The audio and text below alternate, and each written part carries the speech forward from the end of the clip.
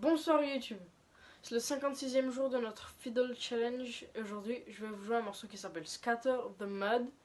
Et je voudrais aussi remercier une violoniste qui s'appelle Katie Lubians parce que grâce à elle et ses vidéos, j'ai pu connaître ce morceau.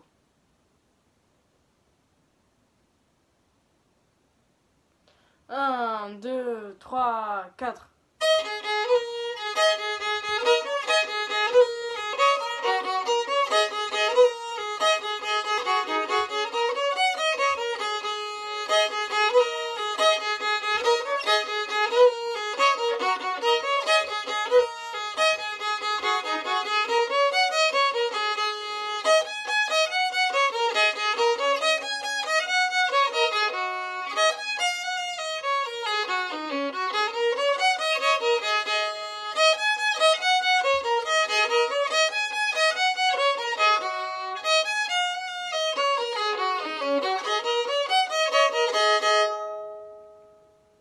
À demain.